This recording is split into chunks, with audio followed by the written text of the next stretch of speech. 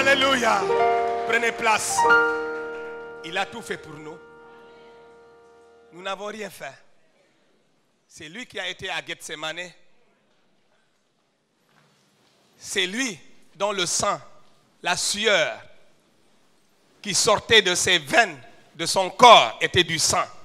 C'est lui qui a été à Golgotha, qui a grimpé la montagne du calvaire. C'est lui qui a reçu les 40 coups moisants. C'est lui dont on a arraché la barbe, on a arraché les cheveux, on a insulté, on a crucifié nu à la croisée des chemins, en dehors de la vie, de la ville de Jérusalem, la croisée des chemins. Tous les passants les regardaient et se moquaient de lui. On l'a crucifié nu, nu. Vous avez une fois regardé le film Jésus? Un vieux chrétien était choqué il dit pourquoi nous, avons, nous sommes venus dans le village et montrer Jésus presque nu. Il a fallu que je le prenne à côté pour lui dire, même le petit pagne on a mis autour de ses reins là, c'est juste pour le respect que nous avons pour lui. Sinon, il a été crucifié nu. Et quand il a compris ça, il était d'accord. Et que l'objectif, ce n'était pas de le déshonorer, mais plutôt de montrer combien il a souffert pour nous. Combien il a supporté tout pour nous et permettre aux chrétiens qui rencontrent des tribulations de faire la comparaison entre ce que tu rencontres et ce que lui il a rencontré. Entre ce que tu croises et ce que lui il a croisé. Lui, c'est le diable en personne qui est venu le rencontrer dans le désert. Toi, c'est un démon. Tu as affaire à un petit démon, souvent même des petits démons de village ou de quartier. Lui, c'est le diable en personne qui débarque et qui le croise. Et à trois reprises, il tente de le dévier, de le détourner. Mais il était focalisé. Parce que pour lui, l'objectif final, c'est que ton nom soit écrit dans le livre de vie. C'est ça. Alors ce matin, nous sommes très reconnaissants. Très reconnaissants. J'ai l'habitude de dire que nous sommes une église christocentrique. Et nous prêchons des messages christocentriques. Et nous avons une vision christocentrique. Comprenez par là. Message centré sur la personne de Jésus. Une église, tout ce que nous faisons ici, tout est focalisé sur la personne. Tout est orienté vers la personne. Une seule personne, c'est Jésus-Christ de Nazareth. C'est lui. C'est lui. Quand vous franchissez le seuil de cette église-là, pensez à lui. En quittant ici, pensez à lui. Toute la semaine, pensez à lui. Il a tout fait pour nous tout fait pour nous. Les plus grands combats de la vie, il les a menés et il les a remportés. Est-ce que je parle à quelqu'un ce matin? Mais je veux t'amener à l'aimer encore davantage. Je sais que tu l'aimes, mais je veux t'amener à l'aimer encore davantage. Et chaque minute, chaque seconde de ta vie, pense à lui. Devant chaque, devant n'importe quelle situation, n'importe quel défi, n'importe quelle adversité, devant n'importe quelle opposition, je veux que tu penses à lui. Tu penses à lui. Ne pense pas au défi. Ne regarde pas sur le défi. Ne regarde pas sur la taille du problème. Mais regarde sur la taille de ton Dieu. Est-ce que je parle à quelqu'un ce matin? Parce que plus souvent, on nous annonce une maladie et puis on a tous les jours l'esprit focalisé, la pensée focalisée, les regards focalisés sur la maladie et pas sur le Seigneur qui nous guérit de toute maladie. Je suis l'éternel ton Dieu qui te guérit. Alléluia. Allez ce matin que notre amour pour lui augmente. Que notre amour pour lui prenne du volume. Au nom de Jésus. Alléluia. Ce matin, je veux, parler beaucoup de Paul. Parce qu'il est un homme très reconnaissant qui avait en vue, ses yeux étaient braqués sur Jésus et ce que Jésus a accompli. Et pas sur ses faiblesses, ses manquements, ses problèmes. Euh, non. Les gens sont tristes, même dans l'église, parce qu'ils ils ont les yeux braqués sur ce qu'ils n'ont pas je n'ai pas ceci, je n'ai pas cela, je n'ai pas de travail, je n'ai pas de mari, je n'ai pas de femme, je n'ai pas ceci, je n'ai pas de travail, je n'ai pas ceci. Mais est-ce que tu peux, un seul instant, et ce matin, le but de Dieu, c'est de te ramener sur la voie où tu regardes maintenant à, à ce que tu as, à ce qu'il a réalisé pour toi. Alléluia. Quand David faisait face à Goliath, ce qui l'a aidé, c'est qu'il n'avait pas les yeux fixés sur Goliath. Les gens regardaient, voyaient un géant, mais lui, il voyait un incirconcis. Un incirconcis. Un incirconcis devant un circoncis. Il n'y a pas match. Est-ce que je parle à quelqu'un? Il n'y a pas match entre lui et, Goliath. C'est pas le combat n'est pas à leur niveau. Le combat est ailleurs. C'est entre son Dieu et le Dieu de Goliath. Et entre le Dieu de Goliath et, le Dieu de David, il n'y a pas match. Il n'y a pas match. Je vous parle maintenant comme un Ivoirien. Parce que je suis baoulé. Il n'y a pas match. Est-ce que je parle à quelqu'un ce matin? Mon objectif ce matin, c'est qu'en quittant dans ces salles, tu lèves la tête. Tu, tu relèves ta tête. Est-ce que je parle à quelqu'un Tu relèves la tête. Alléluia. Il n'y a pas match. Il s'agit combat entre ton Dieu et son Dieu. Celui qui te perturbe. Le problème qui est là. L'ennemi, l'adversaire qui est là. Le combat, c'est entre les dieux. Alléluia. Ephésiens chapitre 3.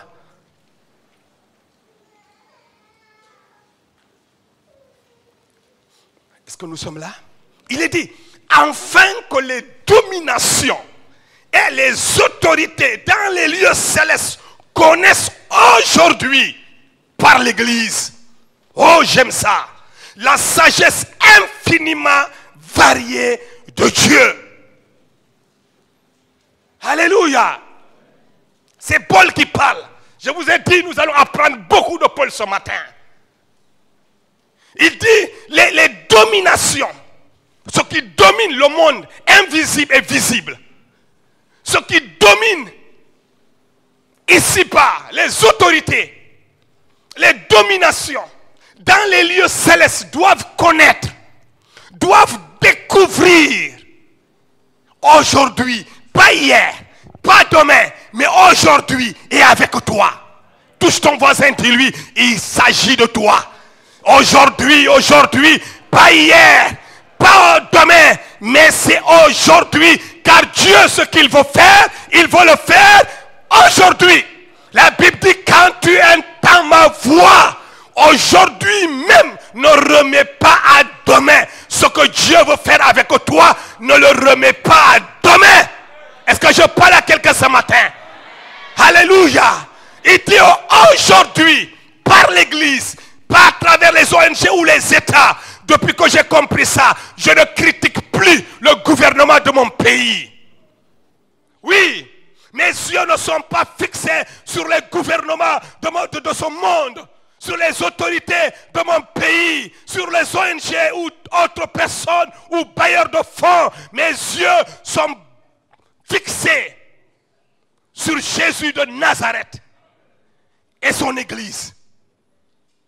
Parce que la Bible a moi dit que toutes ces autorités doivent connaître aujourd'hui, par l'Église, à travers l'Église, avec l'Église. Alléluia. Et l'Église, c'est toi et moi. Nous sommes l'Église. Jésus dit, là où deux ou trois sont rassemblés à mon nom, je suis au milieu d'eux. C'est l'Église. Et la Bible à moi me dit, ne sais-tu pas que tu es le temple du Saint-Esprit? Alors je suis l'Église. Dis à ton voisin, tu es l'Église.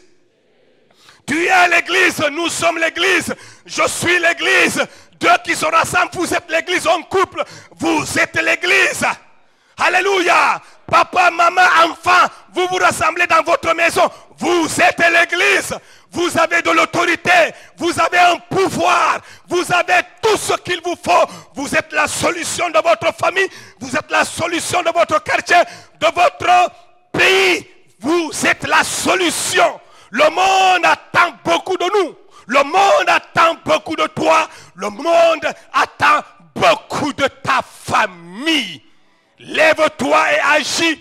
Pas demain, mais aujourd'hui. Ce que tu as à faire, fais-le aujourd'hui. Il l'a dit, il l'a dit à Judas Iscariote, Jésus. Mais ce matin, il le dit à chacun de nous. Car ce que nous devons faire, peut délivrer une famille, une nation, un homme, une femme. Peut délivrer même l'économie de nos nations. Ce que nous avons à faire, ce que Dieu nous a chargé à faire, ce que Dieu nous a donné comme mission d'accomplir. Levons-nous aujourd'hui et pas demain. Levons-nous aujourd'hui et faisons-le. Parce qu'ils attendent aujourd'hui par l'Église la sagesse infiniment variée. La sagesse, notez bien, j'ai souligné ça dans ma Bible. C'est pourquoi j'aime les Bibles en papier. Parce qu'avec les Bibles, là, là, là, dans les portables, il y a des choses que vous ne pouvez pas souligner. Ils vont souligner tout le verset. Alors que ce que Dieu veut te dire, ça ne dépend pas de tout un verset. Ça dépend de quelques mots. Il faut juste souligner ces mots-là en passant. Mais quand je mets mon doigt, il me souligne tout le verset. Non, non. Mais la Bible en papier, tu soulignes sagesse infiniment variée de Dieu. Point. Et tu t'arrêtes là. Tu t'arrêtes là. Et tu ouvres ton cœur, ton âme et ton esprit. Tu reçois. Tu reçois jusqu'à ce que tu comprennes ce que veut dire sagesse infiniment variée variée. C'est-à-dire dans la sagesse là, il y a beaucoup de choses dedans. Il y a beaucoup d'ingrédients dedans. C'est comme on le dit, beaucoup de viande ne gâte jamais la sauce.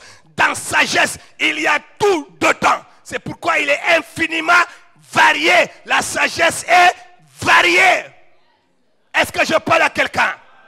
Reçois cette sagesse au nom de Jésus. Dis, je reçois cette sagesse infiniment variée de Dieu au nom de Jésus. Oui, une sagesse qui te permettra de saisir, de comprendre et de recevoir tous les mystères de Dieu. Dans tous les secteurs, quand se met à parler de quoi que ce soit, tu reçois la sagesse pour comprendre ce qu'il dit. Alléluia. Recevez cette sagesse infiniment variée de Dieu. Le monde attend qu'on manifeste cela. Le monde l'attend, les autorités l'attendent, les dominations l'attendent. Que nous manifestions cette sagesse. C'est pourquoi j'aime l'église. Parce que l'église, ce n'est pas n'importe quoi. L'église, j'ai l'habitude de le dire, c'est la première puissance au monde. La première puissance au monde, ce n'est pas les États-Unis, c'est l'église. C'est l'église. Alléluia. C'est l'église de Jésus-Christ. Amen. Nous allons lire encore 2 Timothée chapitre 4. 2 Timothée chapitre 4. Nous parlons des principes de la faveur. Nous comprendrons tout à l'heure, durant tout le mois de février, nous parlerons des principes de la faveur. Et en parlant des principes de la faveur, vous savez, euh, nous voulons nous focaliser sur le fait que ce mois est un mois de jeûne et prière. Cela sous-entend que c'est un mois de combat, de combat spirituel. Amen. Mais dans ce combat, nous aurons simplement à utiliser les principes de la faveur. Amen. Nos armes constitueront les principes de la faveur que nous allons comprendre. Lorsque nous comprendrons ces principes, les principes qui attirent la faveur, les principes qui déclenchent la faveur, vous allez voir que le combat sera très facile. C'est comme on l'a dit dimanche passé. Pourquoi nous jeûnons? Ce mois et nous prions Parce que nous croyons, comme le Seigneur le dit, qu'il y a des démons qu'on ne peut chasser, une catégorie de démons qu'on ne peut chasser que par le jeûne et la prière. Donc le jeûne associé à la prière est une stratégie du Saint-Esprit pour chasser et neutraliser les démons le plus têtus au monde. Il y a des démons têtus. Il y a des maladies têtues comme le coronavirus. Mais il est vaincu au nom de Jésus. Mhm. Il est vaincu. La dernière fois, je disais, il y a des gens, dès qu'ils entendent, il y a une épidémie là, ils vont aller capter l'épidémie. Mais au nom de Jésus, tu n'iras pas capter l'épidémie là. Les gens qui aiment ça, ils sont déjà malades même avant que la maladie ne vienne ici. Ils se voient déjà malades. Ils se promènent avec des masques. Hein, ils ne veulent plus saluer les gens. La peur est où? Hein, tu as reçu ça d'où? Parce que ce n'est pas de Jésus. Cet homme qui n'avait peur de rien, il n'avait peur de rien. Coronavirus là est vaincu au nom de Jésus. C'est hier que je me suis même exercé à, bien prononcer ça parce que je n'aimais pas ça. Hein, hein. Alléluia. Est-ce que euh, euh, euh, vous êtes là? 2 Timothée 4. Amen. Je t'en conjure devant Dieu et devant Jésus-Christ qui doit juger les vivants et les morts et au nom de son apparition et de son royaume. Oui, prêche la parole, insiste en toute occasion, favorable ou non, reprend, censure, exhorte avec douceur et en instruisant. Allons jusqu'au verset 7. J'ai combattu le bon combat, j'ai achevé la course, j'aime ça, j'ai combattu le bon combat, j'ai achevé la course. J'ai gardé la foi. Un, j'ai combattu le bon combat. Deux, il dit, j'ai achevé la course. Ce matin, Dieu va nous donner l'onction pour combattre le bon combat, l'onction pour achever la course, l'onction pour garder la foi. Personne oh, ne va perdre la foi dans ce combat-là. Personne ne va perdre sa vie dans ce combat-là. Face à cette épidémie, personne ne va perdre la vie. Alléluia. Nous sommes dans un mois de combat spirituel et personne ne va perdre ni la foi, ni la, ni la foi, ni la vie. Verset 8. Désormais, désormais, la couronne de justice m'est réservée. Désormais, le ciel est garanti.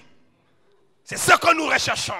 Ce qui m'a amené à Jésus, c'est cette parole, c'est cette assurance chrétienne. J'étais ailleurs, dans les vers, parmi les vers, ou les voisins, comme nous les appelons.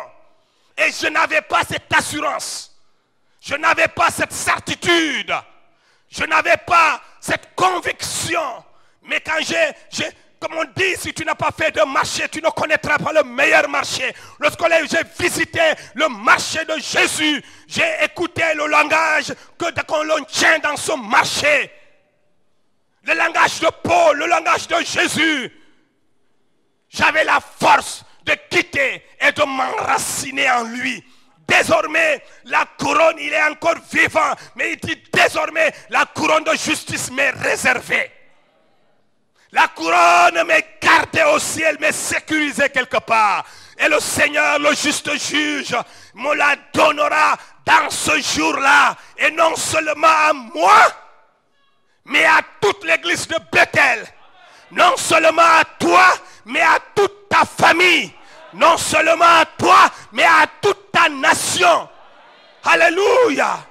Il te le donnera à toi et à ta famille, à ta femme, à tes enfants, aux enfants de tes enfants. En ce jour-là, non seulement à toi, mais encore à tous ceux qui auront aimé son avènement. Son avènement. Verset 9. Non, 8, c'est bon. 8, c'est bon. Alléluia. Bien-aimés, nous parlons des principes qui favorisent et qui attirent la faveur. Et parmi ces principes, il y a notre engagement faire malgré tout. Cela constitue un élément qui attire la faveur de Dieu. Si quelqu'un vous dit que dans ce monde, parce que vous avez la faveur, parce que vous êtes chrétien, parce que vous êtes né de nouveau, vous n'aurez pas de défis, vous ne serez pas persécuté, vous ne serez pas haï. Il vous ment. Cet évangile ne vient pas de Dieu.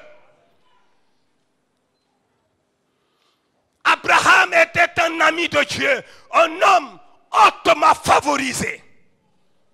Hautement favorisé. Bien aimé, quand on parle de la faveur de Dieu, un des premiers noms qui nous vient à l'esprit, c'est le nom d'Abraham. Un homme hautement favorisé. Un homme qui a connu la faveur de Dieu, qui a vécu la faveur de Dieu, qui a palpé la faveur de Dieu. Abraham. Cependant, la Bible nous parle des dix épreuves d'Abraham comme les dix commandements ou les dix plaies avec lesquelles Dieu frappa l'Égypte. Dix épreuves que cet homme a connues. Mais ce qui est important de savoir, c'est que Dieu nous donne la victoire sur chaque épreuve. Alléluia. Lisons dans Jean chapitre 16, le verset 33. Nous ne parlons pas ce matin ou cette année de la faveur bon marché. Je veux parler à quelqu'un. Qu'est-ce que j'appelle la faveur bon marché? C'est cette faveur-là où on vous dit, quoi qu'il arrive, Dieu est avec vous, il va vous bénir, même si vous êtes dans le péché, même si vous l'abandonnez. Ça, c'est la faveur bon marché. C'est l'évangile de la paille. On vous parle des principes par lesquels on attire la faveur de Dieu, on vit la faveur de Dieu. Et la faveur de Dieu porte des résultats, des fruits dans notre vie. Je vous ai dit ces choses afin que vous ayez la paix en moi. Ainsi parle Jésus, notre Seigneur et Sauveur. Vous aurez des tribulations dans le monde. Dans le monde, Jésus parle à des il dit, vous aurez des tribulations dans le monde. Mais prenez courage. J'ai vaincu le monde. Alléluia. Prenez courage. Restez ferme. N'ayez pas peur. Ne paniquez pas. Ne vous découragez pas. N'abandonnez pas. J'ai vaincu le monde. J'ai vaincu ce qui vous attaque et vous aurez le dessus sur lui. On ne vous dit que vous ne pouvez pas tomber malade. Il y en a qui prêchent ça. Quand on est chrétien, on ne peut pas tomber malade. Un missionnaire, un missionnaire anglais prêchait cela au Ghana. Jusqu'à un jour, sa fille est tombée gravement malade. Et il avait formé tous ces gens, ces disciples au Ghana, que non, euh, voilà, quand on est chrétien, on ne peut pas tomber malade. Et lui-même, quand il tombait malade, il prenait l'avion tranquillement, il allait en Angleterre se soigner et puis il revient. Et les pauvres Ghanéens étaient là. Ils ne peuvent pas tomber malades. Ils tombent malades, mais ils refusent de reconnaître qu'ils sont malades. Ils ne vont pas à l'hôpital, ils ne vont pas se soigner. Hein, parce qu'ils ne veulent même pas confesser qu'ils sont malades pour qu'on les guérisse. Non, mais ça, c'est de la comédie spirituelle. Jésus n'a pas dit ça. Il dit, vous aurez des tribulations. Mais les tribulations là ne vont pas vous écraser, ne vont pas vous tuer. Alléluia, est-ce que je parle à quelqu'un? C'est pourquoi j'ai dit cette année, on parlera de la faveur de Dieu, mais pas de la faveur bon marché. Pas de la faveur insensée, mais cette faveur qui réfléchit. Parce que la sagesse infiniment variée de Dieu est notre partage. Il y a des choses que la sagesse nous enseigne. Oui, il y a des choses que la sagesse nous révèle. Il y a là où la sagesse de Dieu nous conduit. Les chrétiens ne sont pas les moindres dans le monde. Nous sommes les plus intelligents. Parce que nous opérons avec l'Esprit de Dieu. Mais l'Esprit de Dieu est au-dessus de l'Esprit humain. C'est pourquoi la Bible dit, la sagesse humaine, c'est une folie. Mais, même la folie de Dieu est supérieure à ce que le monde appelle le top de la sagesse. La folie de Dieu, elle est supérieure à ce que le monde appelle sagesse. Donc nous devons être les plus intelligents, les plus réveillés, les plus civilisés dans ce monde et nous le sommes. Moi, en tout cas, moi, je me comporte comme ça. Je n'ai pas le complexe d'infériorité devant qui que ce soit. Non. Vous qui êtes à l'école là, je vous défie. C'est pourquoi nous célébrons tous ceux qui obtiennent la mention spéciale de Bethel, une mention très honorable. Alléluia. Parce qu'à la limite, c'est un combat entre les dieux. On va le Dieu le plus intelligent, le plus sage. En tout cas, de tous les temps, c'est ton Dieu. Amen. Euh, remettez-moi mes, mes passages, s'il vous plaît. Alléluia. Vous aurez des tribulations dans le monde. Au ciel, il n'y aura plus de tribulations. Mais tant que nous sommes ici, nous aurons des tribulations. Mais le Seigneur dit, prenez courage. Soyez courageux. Vous n'avez pas remarqué? Quand il débarque dans la vie de Josué après la mort de Moïse, il lui dit, fortifie-toi et prends courage. Oui, ça ne va pas être facile.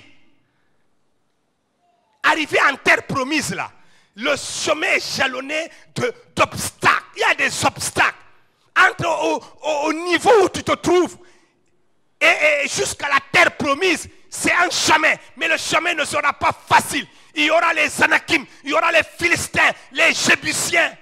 Ils seront là, ils vont se dresser contre vous, mon peuple. Mais prends courage et fortifie-toi. Je vous ai donné le pays. Ça ne va pas être facile. Celui qui vous prêche l'évangile de la facilité, là, il va vous tuer. Parce que les problèmes vont venir là, vous allez fuir. Ici à Bethel, on ne prêche pas l'évangile de la facilité. On vous dit c'est mais Dieu est avec vous. Ça ne va pas être facile, mais Dieu est avec toi. Et quand tu vas rencontrer la difficulté, tu sauras, tu, sauras que tu as été averti. Hein, hein. On vous avertit. Dieu veut vous amener à un niveau élevé, mais le chemin est rocailleux. Oui. Moi, c'est ça qui m'aide dans la vie. Je croise n'importe quelle situation, je dis, je suis déjà averti. Je savais, je ne suis pas étonné. Je m'attendais à ça. Je savais que ça allait venir. C'est déjà arrivé dans la Bible à telle ou telle, personne dans la Bible. Et comment il a réussi à surmonter, je vais emprunter le même chemin de Paul, le même chemin qu'Abraham a emprunté, le même chemin que Josué a emprunté, le même chemin que Moïse a emprunté, le même chemin que Pierre a emprunté, le même chemin que Jean dans l'île de Patmos a emprunté, le même chemin que Daniel, Shadrach, Meshach et Abelnego ont emprunté. J'emprunterai le même chemin et je ne porterai pas l'odeur du feu. Aucun lion ne va me dévorer. Je ne serai pas la nourriture d'un lion. Je ne serai pas la nourriture d'un sorcier. Jamais, jamais, jamais, je le proclame sur ta vie. Tu ne seras jamais la nourriture d'un sorcier ou d'une sorcière. Ils vont t'attaquer de nuit et de jour, mais ils ne réussiront jamais à te bouffer. Est-ce que je parle à quelqu'un? Que je parle à quelqu'un? Alléluia. C'est de cela il s'agit. C'est cela la faveur de Dieu. C'est-à-dire, Dieu laisse ces situations arriver pour voir comment est-ce que tu vas t'en sortir. Pour que partout autour de toi, que l'on te regarde et dit Waouh! Waouh! Pour nous, c'était déjà fini. Paul, en serpent, l'a mordu. Les gens étaient là. Ah, il va mourir d'un moment à un autre, il va mourir. Il va mourir. Vous allez voir, certains, les spécialistes vont commencer à pronostiquer. Vous allez voir que à partir de la main, la couleur, euh, la main va commencer à changer de couleur. Ça va commencer à noircir. Ça va remonter jusqu'au cerveau. Dès que ça arrive là-bas, il va Et vous savez, il va même pourrir étant debout. Et il va mourir. Vous allez voir, préparer les pelles. Allez-y chercher déjà un endroit où on va l'enterrer. Cet étranger prédicateur de l'évangile. Aujourd'hui, c'est fini. Les gens de la voix, cette voix qu'il annonce va se taire à partir d'aujourd'hui. C'est fini. On ne parlera plus de Paul. Ils étaient là, ils attendaient les minutes passées, les heures passées. Rien n'arrivait à Paul. Parce qu'il avait déjà comme ça. Il a secoué sa main. Vous savez, le serpent est tombé dans le feu. Et le feu l'a calciné. C'est ainsi que le feu du Saint-Esprit va calciner tout serpent mandaté contre ta vie. Tout serpent mandaté contre ta vie. Tout sorcier, sorcellerie organisée contre ta vie. Secoue ta main, secoue ton corps et il va tomber dans le feu. Non, je ne vous vois pas en train de secouer votre corps. Yes. Y a des gestes, vous savez, qui sont prophétiques. Hein? Il y a des gestes prophétiques. Vous parlez, vous pensez que c'est seulement des paroles qui sont prophétiques. Il y a des gestes prophétiques. Paul secoue sa main et le serpent tombe où? Pas ailleurs. Pas même dans l'eau. Il n'allait pas mourir. Le serpent dans l'eau, il nage. Hein? Je savais que seul le feu, il a permis qu'un feu soit allumé à côté. En fait, tu marches, il y a un feu qui est allumé à côté de toi, tu ne sais pas. Il y a un feu qui est là. Et tu penses que même le feu là est contre toi. Parce que tu reçois ta chaleur et ça te dérange. Mais tu ne sais pas que c'est pour ton bien. Parce que bientôt là, un serpent va te mordre. Et quand tu vas secouer ta main comme ça, c'est dans le feu là. Le feu que tu n'aimais pas. C'est dans ce feu. Dans ce feu que le serpent va tomber. Alléluia. C'est pourquoi quand il y a certaines choses qui persistent à côté de toi, hein, reçois la sagesse de Dieu pour savoir pourquoi ça là à côté de moi. Pourquoi le frère là est tout le temps à côté de moi? Tu ne sais pas. Quand quelque chose doit menacer ta vie et que la, soeur là parle, parle parle seulement. C'est en ce moment que tu comprends. Ah, donc c'est pourquoi Dieu l'avait mis à côté de moi. Pourquoi le frère là à côté de moi? Pourquoi chaque fois il vient me visiter? Et souvent même il m'appelle au téléphone, je ne veux pas le répondre. Ah! Ah! Il y a des respos qui sont là, qui vous appellent. Ah frère, c'est comment? Ça va? Et tu dis, oh, il me dérange ce, frère-là. Ah, les gens du Bethel sont embêtants.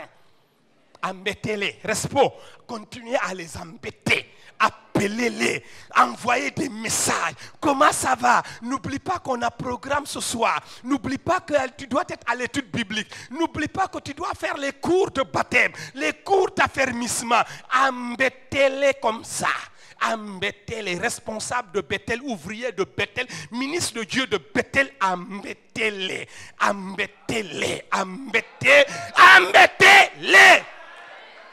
Embêtez-les. C'est pour ça que Dieu vous a mis à côté d'eux. Dieu, vous a mis à côté d'eux. Parce que quand quelque chose va arriver, ils doivent se secouer. Que le feu tombe sur lui. Ah là, tu comprendras pourquoi il, il m'embêtait. Le feu embête. Le feu gêne. Le feu dérange, il dégage une chaleur qui vous dérange, qui dérange votre chair, il ne dérange pas votre esprit, parce que votre esprit l'assimile au, feu divin, mais il dérange votre chair qui reçoit la chaleur, parce que la chair, pour parler ainsi, est charnelle. C'est une manière de parler. C'est comme quand je dis que le diable est méchant, c'est un mauvais diable. C'est une manière de montrer combien la chair, ses désirs sont contraires à ceux de l'esprit. Alléluia. Donc, votre chair n'aime pas qu'on vous appelle à telle heure, qu'on vous envoie des messages. Oui, que le frère là soit là. Voilà, tout le temps pour vous surveiller. Est-ce que ça va? Est-ce que... Non, on n'aime pas. On dit non, mais, il n'est pas mon gendarme. Il est là, il me surveille. Laisse-moi tranquille. La chair n'aime pas ça. La chair aime le libertinage. Ce n'est même pas la liberté, hein, mais tu vas l'appeler liberté. Mais ce n'est pas la liberté. Parce que la liberté, c'est Dieu qui donne. Le libertinage, là, c'est-à-dire que tu fasses tout ce que tu veux, là. Personne ne te dise non. Même, c'est pourquoi les ados, là, ont des problèmes avec les parents. Parce que les parents surveillent. Ils disent non, mon fils, tu ne peux pas faire ça. Et souvent, les parents sont comme un feu à côté des enfants. Ah, ma mère m'empêche de vivre. Non, cette vie, elle est mauvaise, elle est charnelle, elle est mondaine. Elle va t'amener en enfer, ma fille, mon fils. Papa est comme ce feu-là. Oui, quand papa arrive dans la maison là, oh, il commence à gronder, il commence à parler de versets bibliques, le Seigneur a dit, il est comme un feu. Mais quand quelque chose va t'attaquer, c'est papa qui va recevoir le coup et c'est papa qui va briser le serpent. C'est papa qui va neutraliser le serpent. C'est maman qui va neutraliser le serpent qui menace ta vie. Oui, c'est le responsable qui va briser, menacer, tuer le serpent qui menace ta vie aimez les respos. Est-ce que je parle au frère de sœurs de Bethel Aimez les respos. Priez pour les respos. Ils veillent sur vos vies. Priez pour les papas. Priez pour les mamans. Priez pour les grands frères qui veillent sur les petites sœurs, qui veillent sur les petits frères. Priez pour les aînés dans la foi. Priez pour eux. Oui. Le feu était là. Même si tu n'aimes pas sa présence, c'est lui qui va détruire ce qui te menace. C'est lui qui va tuer ce qui te menace. Alléluia. Alléluia. Ce sont les principes de la faveur. Dis à quelqu'un, ça ce sont les principes de la faveur. On n'aime pas souvent les principes, mais les principes nous aiment. Ah, ah. les principes nous aiment. C'est pour notre bien. Revenons sur Abraham. Voilà voyager de Paul à Abraham. Abraham un homme hautement favorisé. Cependant, comme les dix plaies d'Égypte, Abraham va connaître dix fléaux, dix obstacles, dix épreuves, dix épreuves dans la vie d'Abraham, dans la vie d'un homme hautement favorisé. Qu'est-ce que ces épreuves sont venues faire dans sa vie? Ça, c'est la question que nous tous nous, posons. Qu'est-ce que ces épreuves viennent faire dans ma vie? Pourquoi est-ce c'est moi? Alléluia. Première épreuve, c'était l'exil. L'exil. Si quelqu'un vous dit l'exil est facile, il, pas il ne, vous a pas dit la vérité. L'exil n'est pas facile. Tu quittes ton milieu, tu es dépaysé. Dépaysé. Moi, la première fois que j'ai quitté mon pays, c'était pour aller en Côte d'Ivoire. Faire trois mois. Il m'arrivait tout seul, je parlais ma langue. Parce que j'avais envie de parler ma langue. J'étais encore très jeune. Ce que je vous dis là, c'est 20 ans en arrière. Toujours, je suis là, dans le jardin là, et je parle ma langue maternelle. Parce que j'avais j'avais la nostalgie d'entendre ça. J'allais à, à, à, la chercher les restaurants sénégalais pour manger le tchèp. Ouais, parce que j'ai dit non mais c'est pas possible. Je ne peux pas vivre comme ça sans tchèp, sans couscous. Et puis je suis allé voir une Sénégalais, j'ai dit mais ici là vous ne faites pas le couscous. Il dit ah le couscous est souvent rare. On reçoit ça de temps en temps. J'ai dit ah moi je suis vraiment je suis fatigué de atchiké, aloko. Ce que je considérais comme des légumes avant. Euh, comment ça s'appelle encore là? Euh, le, manioc là, pas ça, c'est du légume, on met euh, deux ou trois morceaux sur le tchèp. Là maintenant, c'est pratiquement toute une nourriture, on dit c'est atcheké. Il dit c'est du manioc. J'ai dit, ah, ça c'est compliqué. Mais aujourd'hui, j'ai fini par aimer atcheké. C'est mon repas préféré. Hein. Même quand je vais ailleurs, récemment au Burkina, j'ai commandé atcheké seulement. Ah, vous avez les salutations de Magouloire, le frère Magouloire. Ah, il a écrit son deuxième livre. Hein premier livre, il a écrit ici. Il dit, je me souviens de Bethel. Bethel a marqué ma vie. La première fois que j'ai écrit mon livre, c'est à Bethel. Quand je vous ai vu écrire, eh bien, voilà, moi j'ai dit, je vais écrire mon livre. Et aujourd'hui, il a sorti son deuxième livre. Qui épouser Il travaille dans le département vie et famille avec papa Happy et maman Happy. Et son dernier livre, c'est Qui épouser? Point d'interrogation. Qui épouser? J'ai dit, amène-nous ce livre-là à Bethel. Hum. Alléluia. Vous voulez qu'il vienne, non? Il va venir nous présenter son livre. Qui épousait Parce qu'à Bethel, on, on, a beaucoup d'écrivains. Ici, il a une onction pour l'écriture. Amen. Reçois cette onction au nom de Jésus. L'exil n'est pas facile. Abraham a connu l'exil. Dieu lui dit quitte ton pays, va dans un autre pays. Beaucoup d'entre vous ici, vous êtes comme en exil. Vous n'êtes pas chez vous. Et souvent, vous avez la nostalgie de votre langue, la nostalgie de vos nourritures. Le nolé vous manque. Oui, la tchéké vous manque. Euh, le sakasaka vous manque. Euh, voilà. Même si vous le préparez ici, mais vous n'avez pas tous les ingrédients de chez vous. C'est comme le tchèb à Trashville. On n'a pas tous les ingrédients comme le yet. On ne le trouve pas. Le, le, le, le, yet, il y a aussi le getch. Ça, c'est des choses. Les tamarins et puis euh, le pissab. Ailleurs, on mange le tchèb, mais pas avec les ingrédients du Sénégal. L'exil n'est pas facile, c'est une épreuve. Mais Abraham a vécu l'épreuve dans la victoire.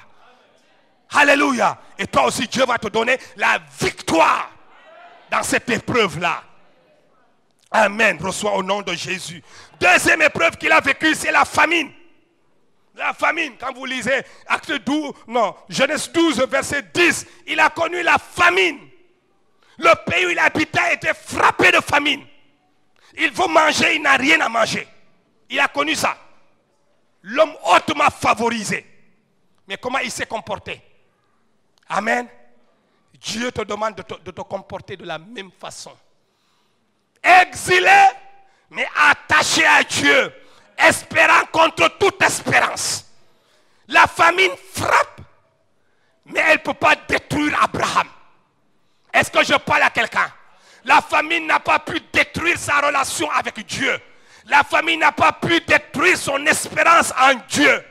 Troisième épreuve, l'enlèvement de Sarah par les Égyptiens. Il arrive en Égypte et Pharaon enlève Sarah combien difficile. Parce que Sarah était très belle. Vous qui aimez les belles femmes là, il y a un prix à payer aussi pour ça. Vous êtes là, vous cherchez seulement les belles femmes, les belles femmes, les belles femmes, les belles femmes, les belles femmes, les belles femmes. Et vous devez regarder même la beauté intérieure, c'est la beauté extérieure. Ouais, il faut qu'elle marche comme ça. Non, il faut qu'elle. Arrêtez ça. Soyez, soyez spirituel. Regardez les sœurs qui sont spirituelles. Si elle est spirituelle et belle, Dieu soit béni. Physiquement, parce que la beauté, elle est relative. Hein. Elle est relative. Ce que vous dites que c'est pas. De toute façon, il n'y a pas une, femme vilaine dans cette église de Bethel. Peut-être ailleurs. Moi, je n'ai pas rencontré une femme vilaine ici. Toutes les sœurs de Bethel sont belles. Parce que la gloire de Dieu est sur elles. Oui, ce sont des Esther. Vous pouvez imaginer que dans un pays comme ça, on dit Esther est la plus belle femme. Hein? Vous pouvez imaginer ça? Non, c'est la gloire de Dieu qui était sur elle. C'est ça. Elle a connu, il a connu ça. On enlève Sarah, ta femme, os de tes os. chair de ta chair, on l'enlève. On vient le prendre de force. C'est difficile comme épreuve, bien aimé. Il a connu ça. Et le lendemain, il n'a pas demandé divorce. Hmm. Vous, au moindre problème, on dit non, on va se séparer. Incompatibilité d'humeur. Je hais et je déteste ces termes-là. Incompatibilité d'humeur. Hmm. Depuis quand? Depuis quand? Je vous ai parlé une fois, je pense ici, hein, d'un couple cavérgien qui allait divorcer. Ils étaient en train de rire entre l'homme et la femme. Et puis le juge dit, mais euh, monsieur Carvalho, monsieur et madame Carvalho, il dit, oui, oui, on est là. Il dit, oh, mais c'est vous qui voulez divorcer? Il dit, oui, oui, oui, oui, oui, oui. Il dit, mais vous êtes en train de causer, de rire, hein, alors de vous? Il dit, oui, oui, mais on divorce pour incompatibilité d'humeur. Ça, c'est la folie. Que Dieu nous délivre de cela au nom de Jésus. Soyez délivrés de l'esprit d'incompatibilité d'humeur. Soyez délivrés de cela. Je prie que cela soit vaincu dans votre bouche. Que jamais même vous ne prononciez ces mots-là. Que ces mots soient difficiles à prononcer pour vous. Très compliqués. Que votre langue soit bloquée lorsque vous voulez le dire. Que Dieu bloque votre langue dans votre bouche. Au nom de Jésus, dites Amen. Même si vous n'êtes pas encore marié, dites Amen. Quatrième épreuve, c'est la guerre. On lui fait la guerre. Hein? La guerre, il a connu la guerre. Abraham, à un moment donné, s'est transformé en chef d'état-major de l'armée, à un homme de guerre. Abraham n'a jamais été un homme de guerre. Vous savez, il y a des situations qui vont faire de toi un homme, une femme de guerre. Et ce mois-là, nous sommes en guerre contre les forces du mal, contre les maladies terribles qui apparaissent dans le monde. L'Église se met en guerre contre ces maladies. Priez contre le coronavirus ou quoi, quoi, quoi là. Priez contre cette maladie qui vient de l'enfer et dont on dit qu'il n'y a pas de remède. Priez. Abraham n'était pas un homme de guerre, mais un jour il a appris que oui, l'autre, on est venu le capturer, lui et sa famille. Abraham, la Bible nous dit, Abraham a armé 318 intercesseurs. Ah, Bethel est en train de vouloir mobiliser 318 intercesseurs. Est-ce que nous pouvons avoir son nombre à Bethel? Et je défie le groupe d'intercession, le département d'intercession. Abraham a mobilisé 318 guerriers, hommes de sa maison. Il n'est pas allé demander des intercesseurs dans d'autres églises. Ah, table évangélique, passez-nous quelques intercesseurs. C'est les gens de sa maison. Est-ce que je parle à quelqu'un? Les gens de ta maison là, il faut les armer. Papa, Arme les gens de ta maison. On ne sait jamais qu'est-ce qui peut arriver. Arme-les. Donne-les des armes spirituelles. Équipe-les. Équipe la nuit comme le jour. Équipe-les. On ne sait jamais ce qui peut arriver. On ne sait jamais ce qui peut arriver. Enseigne-les les techniques de guerre spirituelle. Comment dire non à une maladie? En restant propre, en lavant ses mains, mais aussi en priant. On associe tout en même temps. On est sage, on est, euh, on, est propre, on lave les mains. Quand on sort, euh, on revient à la maison, on lave les mains. Maman, enseigne, équipe tes enfants, arme-les. Qu'ils fassent face au monde de l'extérieur et que rien du monde de l'extérieur ne peut les affecter parce qu'ils sont suffisamment instruits instruit l'enfant selon la voie qu'il doit suivre. Et quand il sera grand, il ne s'en détournera point. Armons nos enfants. Abraham a armé les hommes de sa maison. 318 pour aller faire la guerre. Ils étaient préparés à la guerre. Ils étaient outillés pour, pour, la guerre. Abraham les armes pour aller délivrer l'autre. Et la Bible nous dit, ils ramenèrent l'autre la maison. L'autre doit rentrer à la maison. Alléluia. L'autre doit rentrer à la maison. Vous savez, dans les familles, nous avons souvent des lots. Dans toutes les familles. Des enfants terribles. Il y a même un terme là, des enfants terribles. Le monde même, quand il les voit, il dit non, lui là, il est livré à Satan. C'est comme le démon de la maison. Il n'y a pas de solution. On peut, ne on peut pas le sauver. On peut le sauver. Abraham ramener l'autre à la maison. Vous connaissez ça dans votre famille. Ramenez-le à Jésus. C'est possible. C'est possible de le délivrer. Alléluia. Vous l'avez connu dans, dans votre quartier. Le, le, voyou du quartier. Hein? Le démon du quartier. Ramenez-le. Il est dans l'alcool, il est dans la drogue, il est dans toutes sortes de choses. C'est possible de le gagner. C'est comme le fou de Gadara le maudit du village. Quand Jésus met son pied à Gadara, c'est son objectif, c'était de le ramener, de le ramener à la maison. Parce que la faveur de Dieu l'avait localisé. Et quand la faveur de Dieu localise quelqu'un, vous devez agir. Quels que soient les obstacles, vous devez agir. Alléluia. Je ne connais pas un homme sur la terre que Jésus ne peut pas sauver, que le sang de Jésus ne peut pas restaurer. Je ne connais pas cet homme. Nous ne devons pas avoir des hommes catalogués comme ça. Ils disent, on ne peut rien faire pour eux. Non, ça n'existe pas. Allez-y les chercher. Ceux qui sont maudits, ils sont des bandits, ils sont dans la drogue, dans l'alcool. Les voyous, allez-y les chercher. Abraham arma 318 hommes de sa maison pour aller à la conquête, à la conquête de Lot et compagnie. De Lot et sa bande de voyous, sa bande de charnels, d'hommes charnels. Au lieu de regarder ce que Dieu va faire, il regardait la plaine, il regardait eh bien, les, les endroits verdoyants, les grandes villes, euh, des villes où c'est chaud, on trouve de tout. C'est comme ça il est descendu jusqu'à Gomorre et, Sodome. Mais la Bible nous dit, à un moment de sa vie, Abraham était devenu un chef de guerre. C'est pourquoi la Bible nous parle des fils d'Isaac qui savaient discerner les temps. Il y a des moments où tu dois être un chef de guerre. Est-ce que je parle à un papa, à une maman? Est-ce que je parle à un frère, un responsable de cette église? Est-ce que je parle à un fidèle de Bethel? Il y a des moments où tu dois être un chef de guerre. Ce n'est pas tous les moments, c'est vrai. Mais il y a des moments quand quelque chose menace ta vie, quand quelque chose menace ta famille, menace ta sécurité, ton travail est menacé au service, on se ligue contre toi.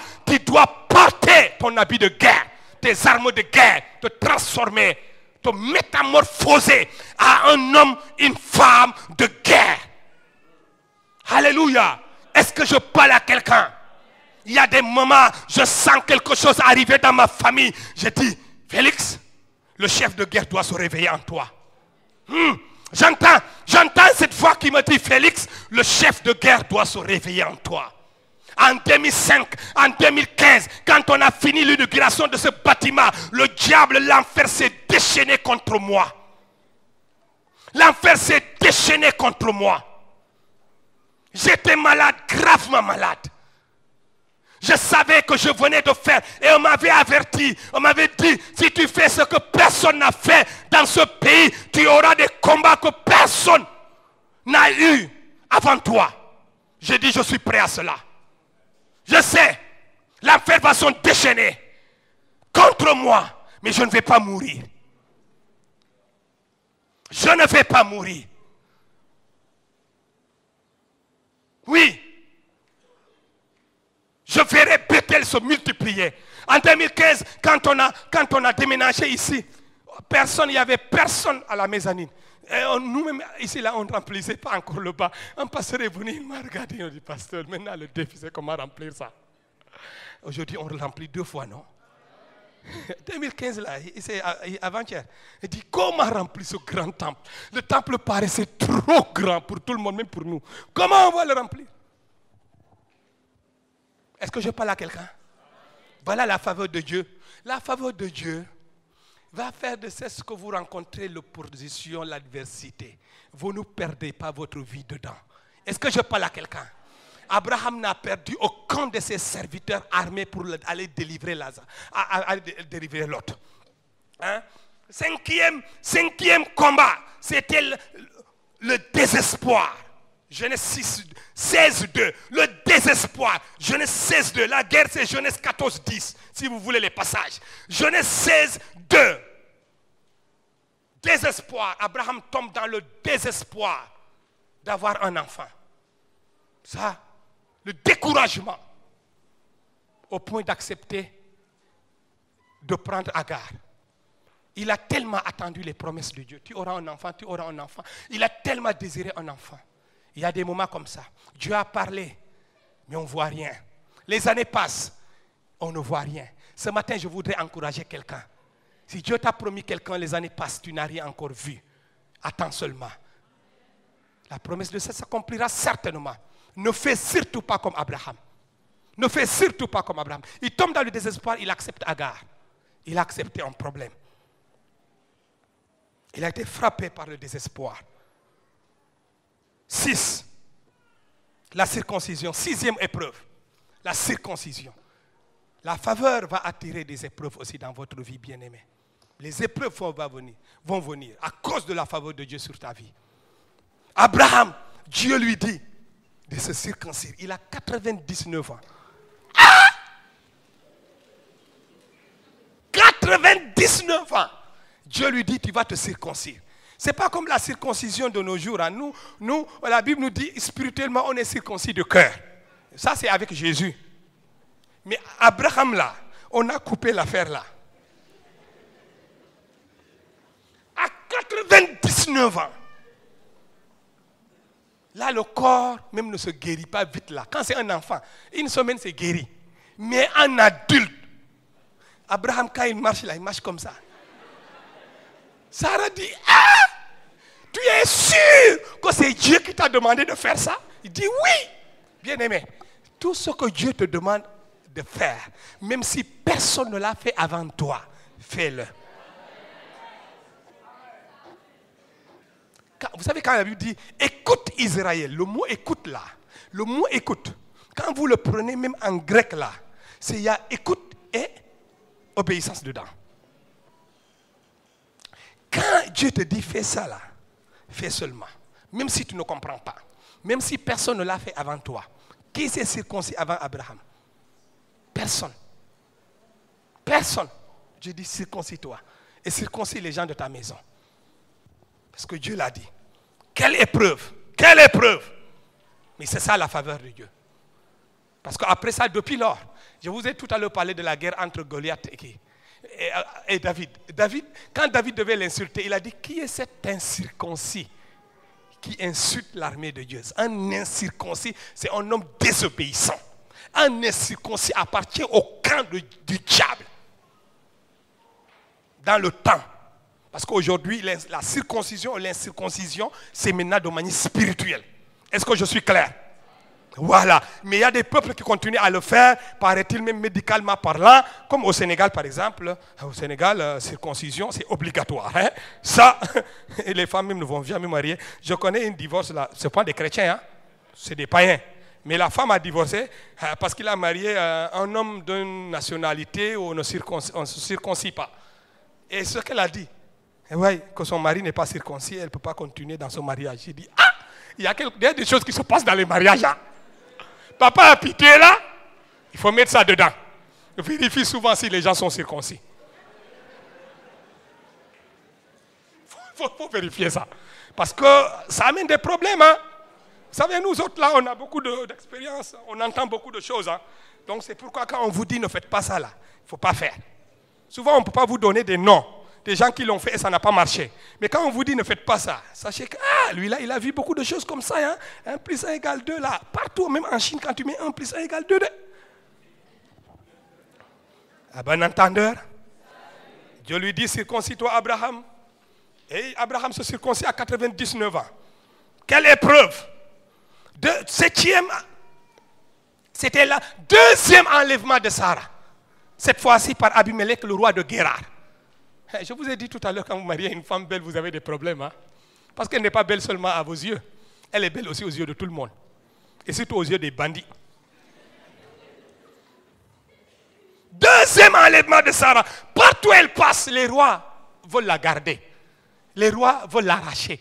Tu as une femme, mais partout où tu arrives avec elle, le roi le plus fort, ils veulent la prendre. Les ministres, les, les, les, les, DG, les, voilà. Tous ces gens-là, grands, riches, ils veulent la prendre. Pauvre Abraham, il a beaucoup souffert. C'est difficile, mais Dieu était avec lui. Amen. Et la faveur de Dieu était avec lui. Dieu n'a pas permis qu'on lui arrache Sarah. Chaque fois qu'on a pris Sarah, Dieu a frappé le roi de l'Égypte. Il arrive à Guéra. Le roi de Guéra a pris Sarah. Dieu a frappé fort. Ah, je prie, c'est ça la faveur de Dieu. La faveur de Dieu n'est pas qu'on ne vous arrache pas ce que vous avez, mais quand quelqu'un arrache ce que vous avez, vous savez ce qui va arriver? Dieu frappe sur sa main. Dieu frappe sur sa main. Et la chose tombe. Oh, j'ai envie de faire tomber le micro, mais j'ai peur qu'il se gâte. Dieu frappe sur sa main et la chose tombe. Il te dit, reprends ta chose, reprends ta bénédiction, reprends ta femme et va-t'en, quitte ce pays. Alléluia. Gloire au Seigneur. Est-ce que quelqu'un est là ce matin et sait qu'il y a quelque chose qui menace ta bénédiction, qui menace la chose que Dieu t'a donnée? Si tu es là ce matin, n'aie pas peur. Le Dieu qui tape sur les mains de tes adversaires, il est là. Mhm. Quand il va frapper sur sa main, ça va, ça va tomber. Tu ramasses ta chose, tu poursuis ta route. Un homme favorisé, une femme favorisée. Il n'a peur de rien. C'est ça que j'appelle la faveur de Dieu. La faveur, cette faveur n'est pas la faveur bon marché qui vous dit on ne vous prendra pas votre chose. La faveur de Dieu dit on vous prendra la chose, mais Dieu va frapper. Alléluia. La faveur de Dieu, c'est que Dieu va frapper. Dieu a frappé l'Égypte. Dieu a frappé Guéra. Dieu a frappé fort Pharaon. Dis-le, laisse aller mon peuple. Laisse aller mon peuple. Ils ne sortiront pas seuls. Ils sortiront avec tout ce qu'ils ont. Est-ce que je parle à quelqu'un? Hmm. Verset 8. Non, euh, huitième épreuve renvoi de, de, d'Ismaël et d'Agar. Ya, ça a été une des pires épreuves d'Abraham. Sarah dit non. Ismaël et sa mère ne seront plus dans la maison. Jamais. Renvoie-les. Renvoie-les. Abraham a souffert. Mais Dieu lui a dit, fais ce que Sarah t'a demandé. homme, il faut souvent écouter les femmes. Est-ce que je parle aux hommes mariés? Ah, il faut souvent écouter les femmes. Les femmes ont un autre sens. La femme regarde dans les détails. Hein? Nous les hommes, là, on fonce seulement. On a la force, on fonce seulement. Hein? Mais la femme, elle regarde dans les détails. Elle dit, hum, mon mari, mon chéri, hein? ça là, il y a quelque chose dedans que tu n'avais pas vu. Elle va te montrer ça. Amen. Vous les célibataires, notez ça. Quand ça va arriver là, vous allez, vous allez l'écouter. Il va vous montrer ça. Dieu dit, je suis d'accord avec Sarah. Hé Abraham, oui.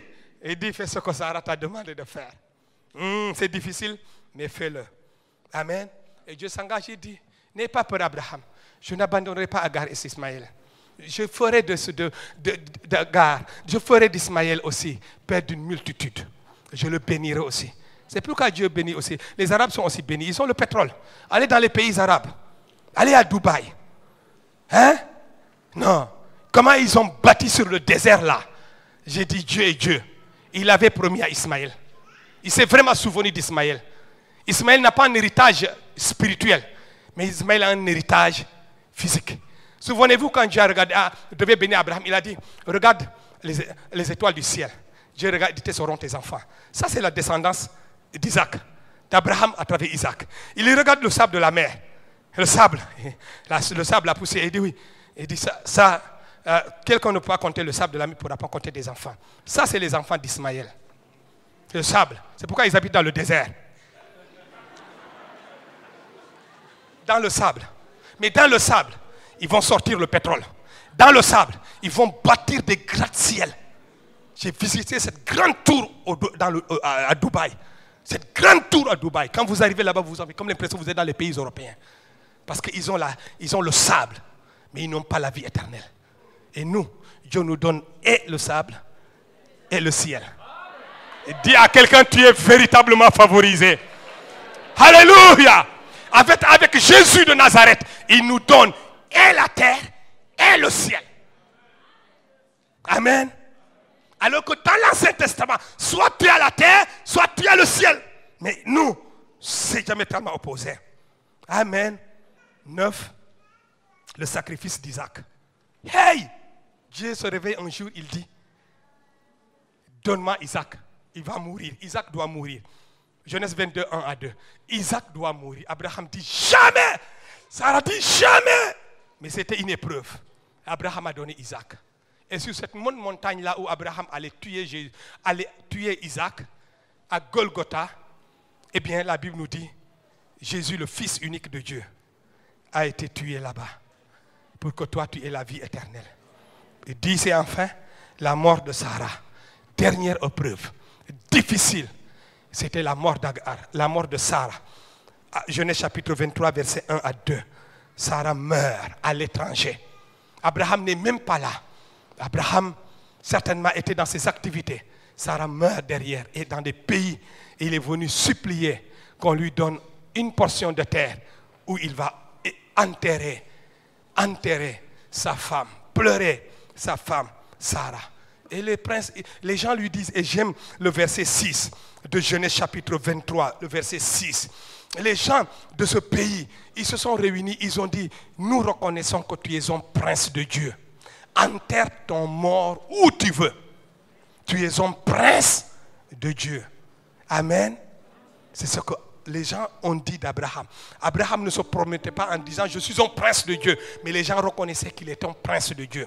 Même ceux qui ne le connaissaient pas, quand ils le voyaient, ils pouvaient lire sur son visage que c'est un prince de Dieu. Ils pouvaient voir dans son comportement que c'est un prince de Dieu. Ils pouvaient voir dans son langage que c'est un prince de Dieu. Si vous êtes obligé chaque fois de dire moi je suis chrétien, vous avez un problème.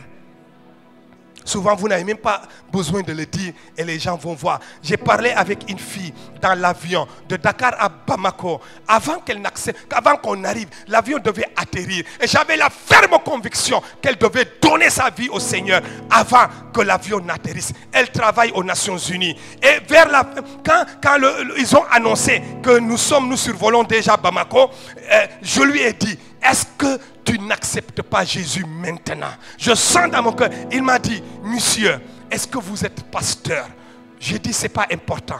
Mais je sens que vous devez accepter Jésus. Si j'avais commencé en disant je suis pasteur, elle allait se barricader pensant que je veux la convertir. J'ai caché mon identité de pasteur pour lui parler, pour la parler, parler avec elle de Jésus correctement, sans qu'elle ait un arrière-pensée, sans qu'il y ait un blocage entre elle et moi. Et elle a fini par capituler devant le Seigneur. Elle a accepté le Seigneur. J'ai prié pour elle. Et jusqu'à aujourd'hui, je l'ai recommandé à une église à Bamako. Elle persévère dans la foi. Alléluia. Elle persévère dans la foi. Oui. Bien-aimé, nous n'avons nous n'avons pas tout le temps besoin de dire je suis ceci, je suis cela. Laissons la faveur de Dieu parler de nous. Laissons la faveur de Dieu nous présenter. Est-ce que mon temps est fini? Mon temps est fini. Ah, excusez-moi. Je n'ai le temps me manque pour vous parler de Paul. Dans 2 Corinthiens chapitre 11, verset 23, 28. Nous allons juste lire et nous allons prier. 2 Corinthiens chapitre 11, parce que je vous avais promis de voyager entre Abraham et Paul. Paul dit, et sans parler d'autre chose, je suis assiégé chaque jour par les soucis qu'on me donne toutes les églises. Verset 29. Qui est faible Que je ne sois faible. Qui vient à tomber Que je ne brûle. Que je ne brûle. S'il faut se glorifier, c'est de ma faiblesse que je me glorifierai. Dieu qui est le Père du Seigneur et qui bénit éternellement, c'est que je ne mens point. À Damas, le gouverneur, oui, le gouverneur du roi Arétas faisait garder la ville des Damascéniens pour se saisir de moi. Mais on me descendit. Et toi aussi, on te fera descendre, même s'il le faut, par une fenêtre dans une corbeille le long de la muraille et échapper de leurs mains. Tu vas aussi échapper de leurs mains. Tu vas échapper. Dis-moi, je vais toujours échapper. Dieu te donne une onction ce matin pour échapper à toute épreuve, à toute tentation, à toute épidémie. Tu vas échapper à toute maladie, à toute mort prématurée. Tu vas échapper. Alléluia. On se met debout et pour prier.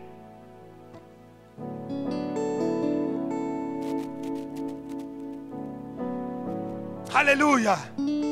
La faveur de Dieu est sur ta vie.